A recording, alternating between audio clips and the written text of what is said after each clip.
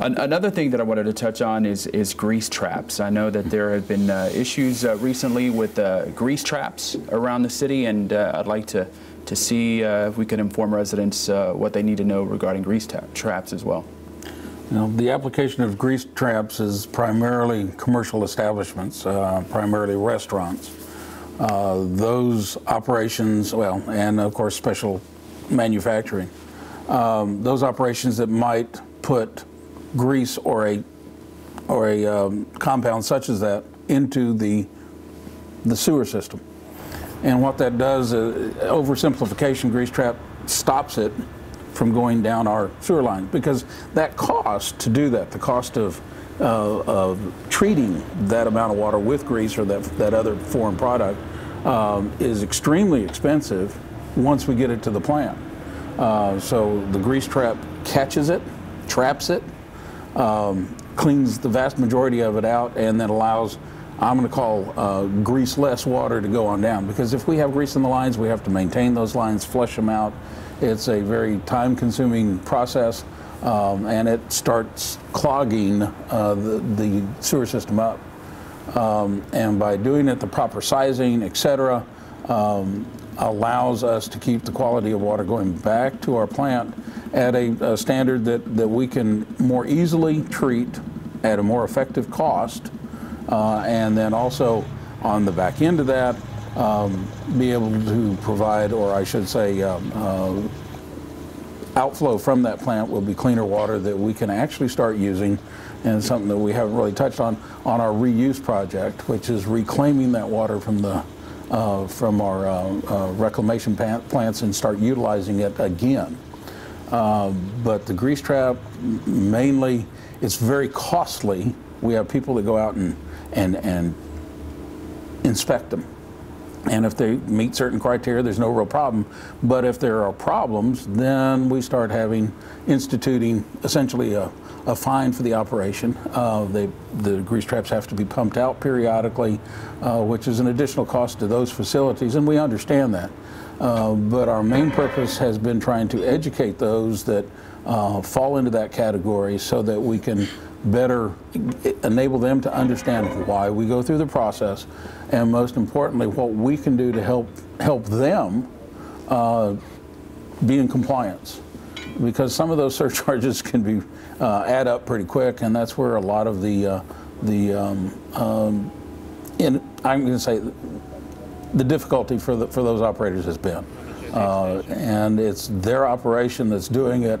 Uh, once again, these are um, based around criteria that are required by uh, TCEQ, which uh, and even EPA to some extent.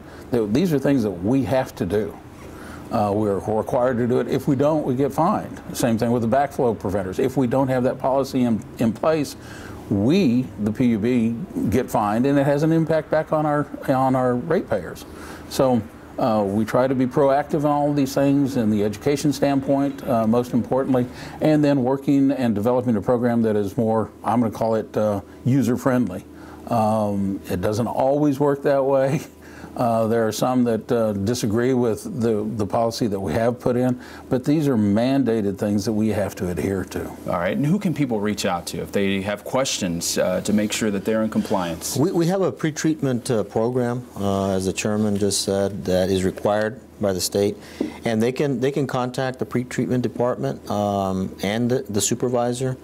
Uh, it's it, it's so important for, for our customers to understand why this is necessary. Uh, we have, we're blessed to have a lot of restaurants in McAllen. And those restaurants are, are, are the cause of, for the most part, of fats and greases going into our lines. And so this grease trap is, is specifically made to try to trap as much of it as possible. And the surcharges that the chairman uh, alluded to are to ensure that the costs that it takes to treat those fats and greases are charged to the to the folks that are attributing to it, and instead of the, you know the the regular uh, residential homeowner and so on. So. Uh, contact our pretreatment department. We're going to make a real big effort um, here in the immediate future in, in trying to educate um, our customers on this issue. It's so important to us because The surcharge is a revenue that we do not want. Believe it or not, it is a revenue that we do not want because when we're collecting this revenue, that means that we've got traps that have an excess of fats that we don't want. So when you're not getting a surcharge, that's good for everyone. One, the, the, the vendor, the restaurant, is not having to pay it, and we're not having to treat it. So in the end, the best case scenario for all of us is to have uh, a grease trap that meets specifications, that is working properly, that is maintained properly, and those are the kinds of things that we want to go out and educate our, our public on. And we're wanting to do it when we're going to do it. It's probably going to be at least yearly, if not twice a year, where we're going to invite restaurant owners and so on to uh, to come and learn a little bit about about this thing. And I want to say this: the issue that that we deal with the most is with existing establishments. And believe me, Roy, we are very sensitive to that because you're talking about a, a situation where uh, an establishment changes hands. Either someone sells a restaurant or sells uh, sells a, a location that wasn't a restaurant prior to that sale and now is going to be.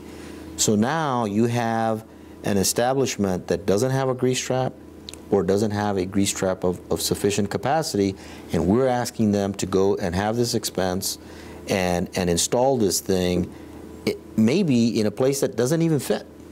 So we're very sensitive to that. We want to avoid those situations as much as possible, but we're here to serve them, and, and we have to always keep that in mind. So the educational process that we hope to, to start is going to try to, to meet that need uh, here soon.